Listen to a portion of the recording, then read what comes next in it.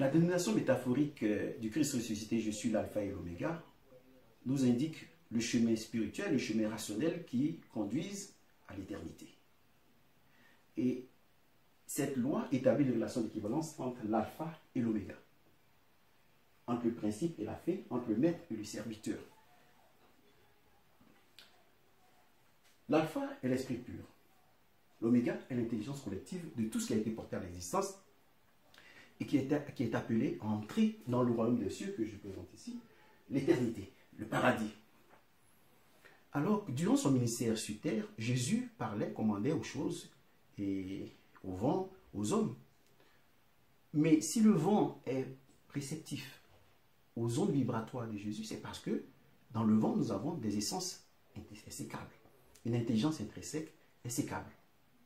Et lorsque le monde, l'univers disparaîtra, cette essence subsistera, ne mourra pas.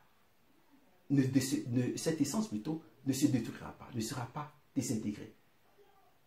Alors, Jésus, pour nous le dire, nous dit, je connais le nombre de vos cheveux. C'est-à-dire, quand nous parlons des choses et des êtres vivants privés du libre arbitre, il parle en termes de quantité, comme on dirait la quantité de matière. Mais ici, il ne s'agit pas de quantité de matière, il s'agit de quantité des intelligences intrinsèques, de tous les codes qui subsisteront à la destruction de tout, ce, de tout ce que nous avons, de tout ce qui est matière, de ce que nous avons sur la terre. Et cette quantité, grâce à l'intelligence collective, sera reconduite dans l'éternité. Et voilà pourquoi les extraits d'Écriture disent, l'homme, disons, à la fin des temps, je ferai, le Seigneur dit, je ferai de nouveaux cieux et une nouvelle terre. Parce que tout ce qui existe arrivera à sa fin. Du principe arrivera à sa fin, disons, à, sa, à son état insécable, à sa nature stable pour toujours. Les particules ne seront plus des particules radioactives, elles seront indestructibles. Et donc, c'est le chemin du principe qui va à la fin. Mais qu'en est-il des hommes Des créatures dotées du libre arbitre? Le Seigneur dit à la Samaritaine, si tu crois en moi, je ferai jaillir en toi une source d'énergie inépuisable. Et cela n'est possible qu'au moins de la foi. Et qu'est-ce que, quelle est l'essence en nous qui reçoit cette source? Le livre de l'Apocalypse au chapitre 2, verset 17, nous décrit cette structure, disons cet ADN indestructible qui est, qui est au-dedans de nous-mêmes. Il dit, vous recevrez, disons, tous les élus qui devront accéder au royaume des cieux, pour entrer au royaume des cieux, recevront un caillou blanc. Et le caillou blanc, sur le caillou blanc, cela écrit un nom secret, et cette personne recevra une manne cachée. Donc, nous, notre ADN indestructible a la forme d'une triade. C'est une structure qui a une structure, a une structure triadique. Et donc, cette structure, cette structure triadique d'en bas, ce, triangle d'en bas, va se joindre au triangle d'en haut et les deux commenceront, la triade mâle et la triade femelle, le, mâle et la femelle, commenceront à produire une énergie déjà ici-bas qui, permet, qui permettra aux élus de Dieu de produire ici-bas déjà, d'accomplir l'œuvre divine. Et à à leur mort, ces élus-là seront comme des étoiles dans l'éternité mais qui seront des liens indissolubles. Et voilà le chemin rationnel et le chemin spirituel qui nous conduit au paradis. ce discours sur la foi, euh, concernant la foi, euh, est rejeté du revers de la main par les scientifiques. Pourquoi? Parce qu'ils ont découvert le chemin rationnel qui conduit à l'éternité. Grâce à sa loi E égale mc carré, Einstein démontre que l'énergie, le monde que nous voyons n'est pas réel et que la matière est de l'énergie. Alors, dès cet instant, ils se disent, bon, si nous retrouvons un particule insécable, nous pourrons entrer directement dans le royaume des cieux. Donc, suivre le principe à la fin. Donc, peu importe.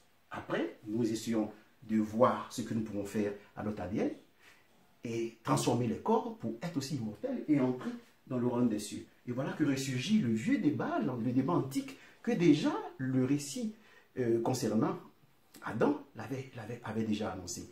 Adam mangea le fruit de la connaissance, c'est-à-dire il a acquis la connaissance, comme c'est des scientifiques.